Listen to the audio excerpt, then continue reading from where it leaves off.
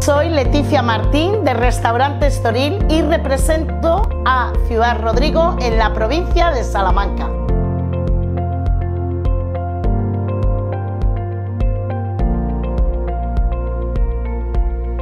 El pincho con el que participaremos en este concurso de ciudades y villas medievales es buñuelo de guiso de ciervo. En nuestros ingredientes principales es cebolla, ajo, ciervo, un poquito de romero, tomillo y brandy y por supuesto aceite.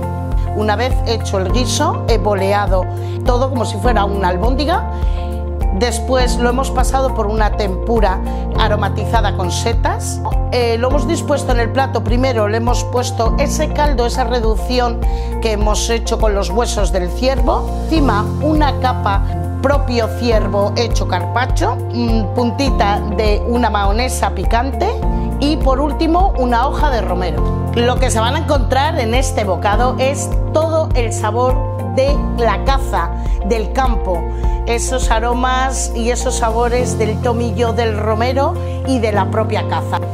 ¿Vale? Y esta es nuestra tapa, la cual tenéis que votar y votar.